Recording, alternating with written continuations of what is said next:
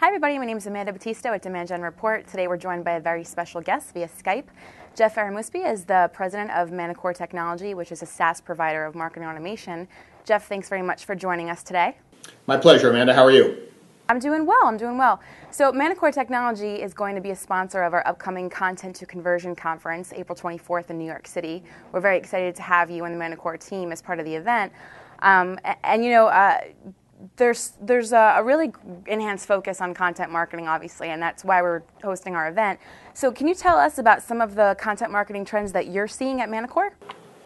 Sure. We're, um, I mean, obviously, you guys are taking advantage of, I think, what is uh, a really significant trend right now in B2B marketing, um, and that is absolutely the utilization of content uh, by B2B marketers in order to allow them to um, uh, you know, better engage with their clients in kind of a digital conversation or their prospects in a digital conversation. Um, we're seeing it is clearly something that every single one of our customers is talking about um, in some level of detail. Um, some are more successful at it than others, uh, obviously, uh, but you know we're starting to really see um, a large number of customers begin to fully take on the whole sort of mission of utilizing content to fully engage with their customers. And you know, we're even seeing it in areas where people perhaps have not been great online marketers in the past but we're seeing them. Um, they are people who have always been sort of content marketers, but maybe more in a print world. And as an example, we're seeing that, for instance, in some of you know the old school kind of manufacturing organizations uh, who had a lot of good material about how best to use their products, why their products were very good, but in fact, maybe their buyers weren't really moving more towards an online purchase process.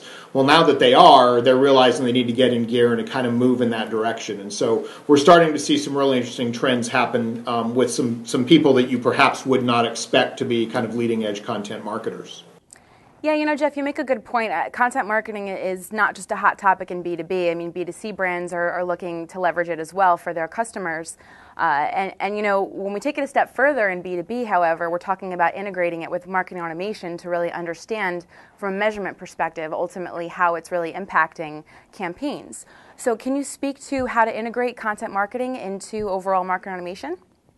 Sure. I mean, you know, we look at, you know, if marketing automation is a platform that allows you to really fully engage uh, with your customers um, and do that in a, you know, a digital way.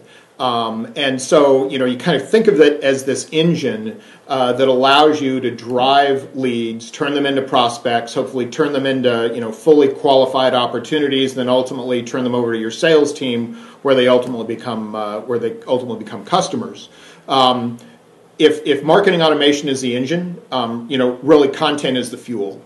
Um, you know, you can't be effective with a marketing automation platform, um, at least to its fullest extent, unless you're really taking advantage of utilizing content to create this conversation uh, with your um, with with your prospects and, and ultimately with your customers. And in fact, it's really important even after the sale, um, because uh, you know after the sale um, you're you're very much focused, uh, uh, you know, around maintaining that relationship. And so many of us today, um, you know, when we sell to somebody, we're not done selling. We have to do it on an ongoing basis. So, you know, for us, the marketing automation platform is sort of um, the capability that allows you to deliver that content. You know, we like to say that you know you could have the best content in the world if you don't have a way to deliver it, um, it's not going to be very effective. Uh, you could also have the best technology in the world, but if you can't put the right uh, kind of content that engages your prospects through uh, that technology, it's pretty worthless as well. So you know, there's a real yin and yang uh, symbiotic relationship between content and marketing automation. Yeah, absolutely. You know, Gen Report and Manticore actually collaborated on a really interesting study last year. We sought to really understand some of the key content marketing trends uh, among B2B marketers. So, something interesting that we found 31% of respondents indicated that they currently measure and attribute the impact of specific content. And then more than half, actually almost 60%, indicate an interest in tools that can help measure the impact. So that was last year. Is that in line with what you're seeing now among your customers? And are, are there any kind of other updates to that effect? Yeah, without a doubt. Um, you know, one thing I think is probably true is that even among that uh, that base of customers and the, the people that we uh, uh, or users, the people that we interviewed in that process, um, I'd actually be surprised if 31% of them were doing it really, really effectively. Um, you know, what we're seeing is there's a real trend um, of moving from measuring campaign success to measuring content efficacy. Uh, and the difference between those two things is, I think, is pretty clear. I mean, a campaign is kind of this bucket of things that you do when engaging with a, a prospect, and it's usually made up of multiple content touch points. Well, you know, if you have four content touch points and three of them are working great and one of them is working lousy, um, in effect, what you're going to find out is that you're going to think this campaign overall is a failure.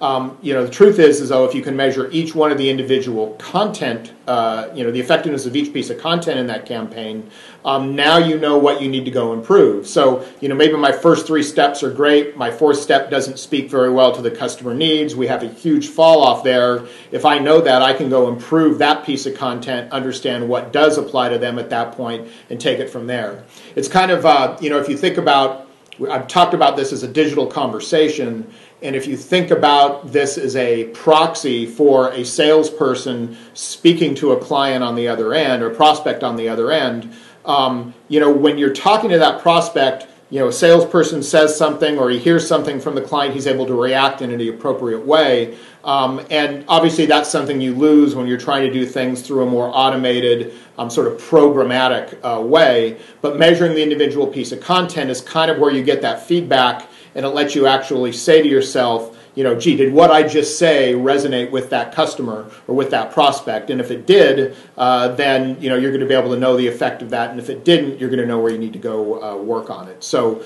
you know, from our perspective, I think we're seeing a lot of people wanting to do this. We're seeing a lot of people really wanting to get into the nuts and bolts and truly understand um, exactly how content is working and exactly what pieces of content are working to achieve their overall uh, marketing and business objectives.